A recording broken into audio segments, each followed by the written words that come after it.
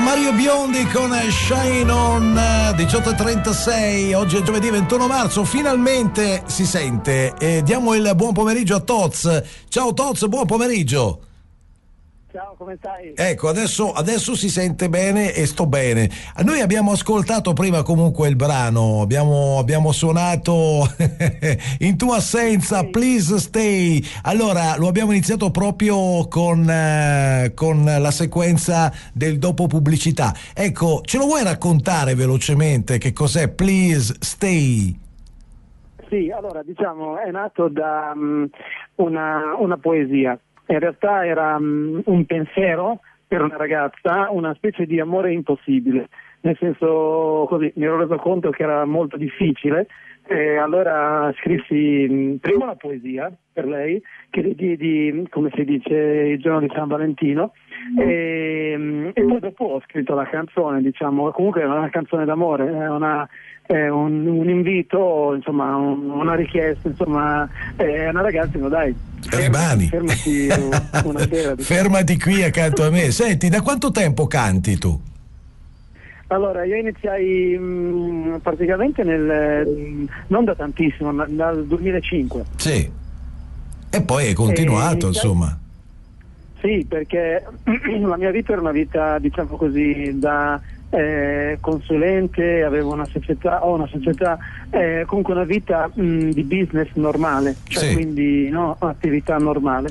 Io, secondo me, eh, c'era bisogno di, di, togliere un po' di aridità e di inserire un po' di emozioni. Certo. emozioni allora iniziai a scrivere un libro, però eh, mi sono detto, secondo me la cosa più, almeno su di me, l'emozione più forte è unire la parola alla, alla musica. Certo. Allora, nel 2004 iniziai con la chitarra a scrivere le prime canzoni, le prime cose, lezioni di canto, lezioni oh. di chitarra, lezioni di qua, lezioni di là e poi siamo arrivati qua.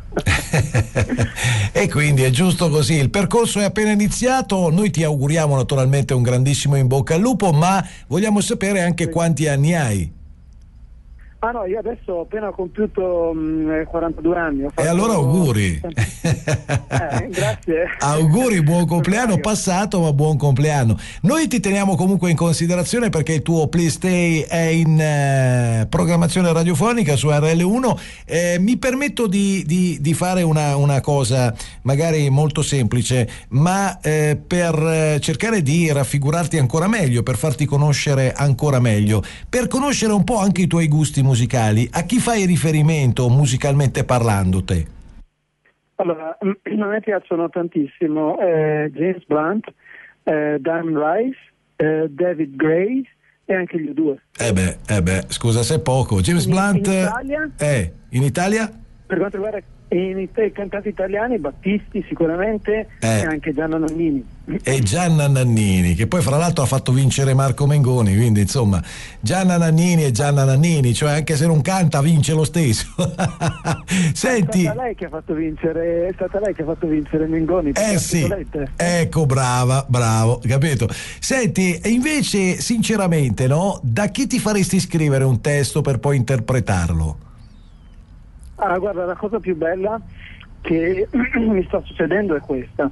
Io parlo con persone di tutti i tipi, no? Sì. Eh, qua a Toronto c'è una, una, multietnicità che è incredibile. Sì. Allora ogni tanto mi trovo a parlare con persone sulla metropolitana o sul, sull'autobus o dovunque anche camminando, tra le più strane.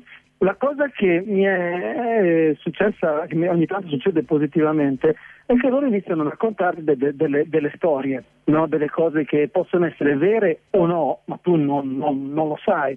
Allora, mh, ogni tanto dalle storie che loro raccontano o dalle cose che magari ti lasciano, può essere una piccola pietra, un qualcosa, nascono poi idee bellissime per nuove canzoni, anche se vuoi dire, se vuoi un po' fantasiose, un po', un po mistiche, un po' fiabesche, però certo se uno vede o ascolta certe cose con un occhio creativo, no? non come dire ma cosa intendo questo, eh, in teoria possono essere, possono essere sicuramente spunti interessanti per nuove canzoni. Che ore sono lì a Toronto adesso, scusa, Toz? L'una e 40. De notte? No, no, l'1.40 ho appena finito di mangiare. Ah, di ah, pranzo. Ah, perfetto. No, pensavo, ho fatto un po' di confusione. Comunque ti posso dare una dritta, non so se lo sai magari. Siccome noi, noi siamo all'Aquila, trasmettiamo dall'Aquila e trasmettiamo anche in streaming live, quindi se sei a Toronto puoi ascoltare la radio anche lì con rl1.it. Eh? Roma Livorno 1 come cifra.it quindi se ti senti lontano da casa ascoltaci ogni giorno che ti facciamo compagnia e, mm, certo. e, poi un'altra ditta che voglio darti, eh, siccome trasmettiamo dall'Aquila, una città da ricostruire da capo a piedi, sì. anche le persone andrebbero ricostruite, ma questo è un altro discorso. Eh, voglio ricordarti che Toronto è stata ricostruita sotto tanti punti di vista e sotto diversi punti di vista da un italiano, Carlo Baldassarra, quindi eh, sii orgoglioso di essere italiano a Toronto. Sì, sì, ma guarda, infatti ho scritto anche una canzone un mese fa eh, sul fatto di essere immigrato eh, italiano in Canada e in effetti eh, gli italiani hanno mh, giocato un ruolo importantissimo nella costruzione di questa città di Toronto. Eh, soprattutto Carlo Baldassarra, appunto, è un italiano che l'ha ricostruita.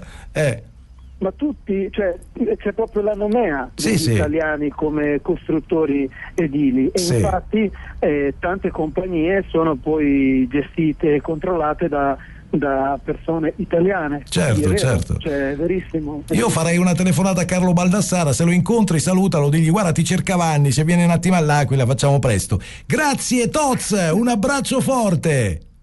Un abbraccione. Grazie, ciao e buon caffè a questo punto. vado a suonare. Ciao. Bravo. Ciao Toz, ciao. Allora abbiamo sentito Toz da Toronto, pensate un po', è l'una, l'una e venti a quelle parti e quindi lui ha appena finito di pranzare.